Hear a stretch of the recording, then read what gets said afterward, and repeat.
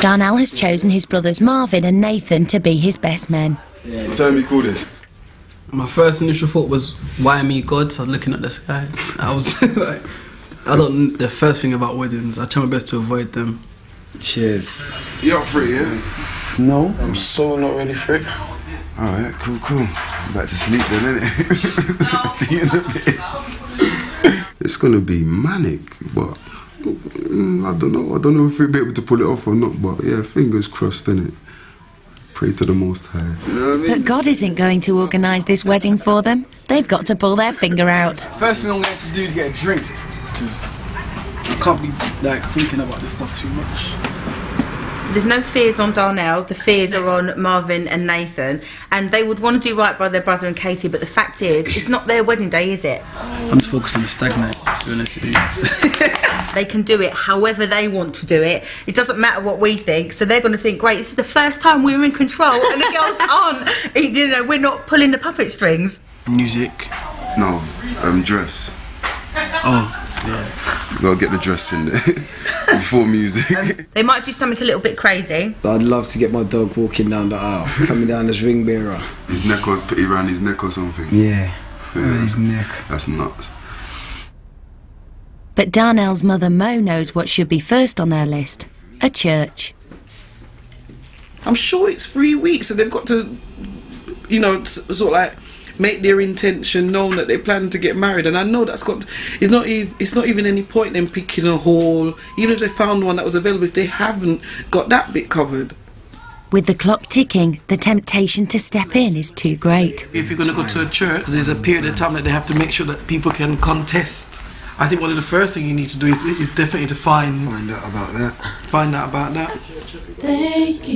Mo's timely intervention gives Darnell a bit of focus. I've grown up as a Catholic, so for me, a church was a big part of my life. So to have it in the church would just be, it would be fantastic, literally.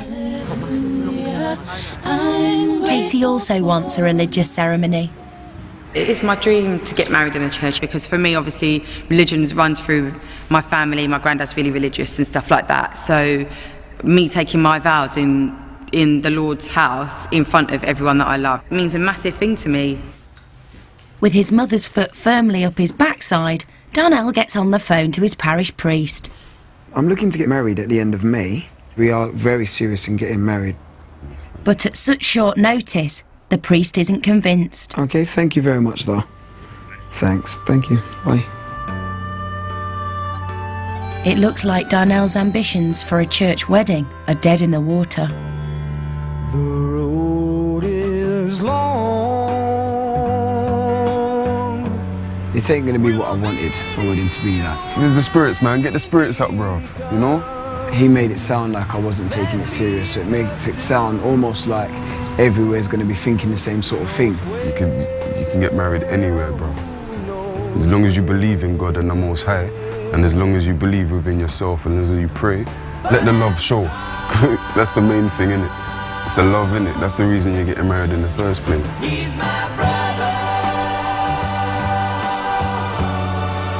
Totally worst nightmare is Once off registry office. don't even start, mum. Right? Shabby community. Yeah, the ones the ones with registry office for a start would just really upset me.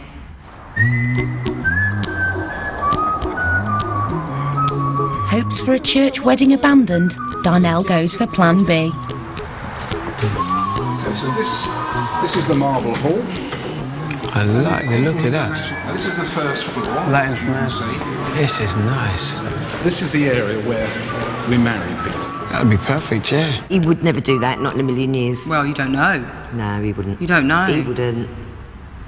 You don't know, mum. We don't know. I'm telling you that. He wouldn't, because I'm knows- stressing. Do you know, I think if my bride walked into this, especially her making her big entrance up these stairs, like trailing up, I think she would love it. I thought that marble hall just looked banging. I did like that. I thought that was beautiful. So yeah, I'm kind of bouncing right about now. I'm out there. I'm out there.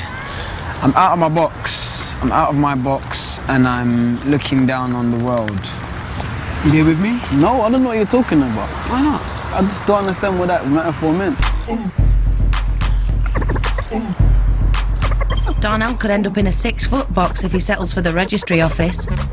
Then divine intervention strikes. His auntie Sharon has given him details of her church in South London. But with only 16 days until the wedding, Darnell has to convince the minister that he's serious.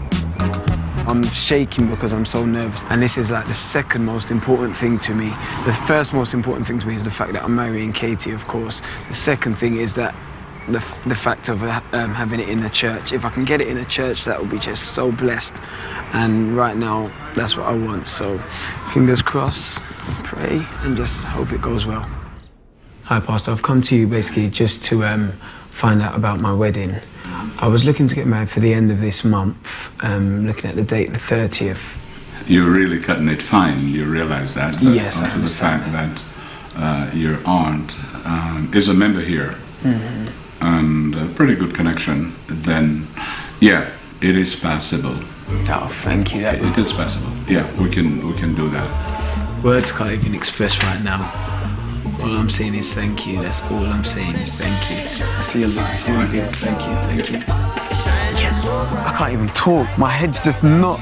I'm not in the right fright frame of mind right now. Um, I've got my date. That's what matters. I've got my date. I've got my church. Everything's set. So on that side there, that's perfect. Now it's just time to move on for the rest of the stuff. But right now, I'm gonna go home and sit down and dwell on the fact that I've got my church. Everything else can wait. Uh, yeah. Um, thank you. Everything else can't wait. The church may be in the bag, but he still needs to find a reception venue before he can send out invitations.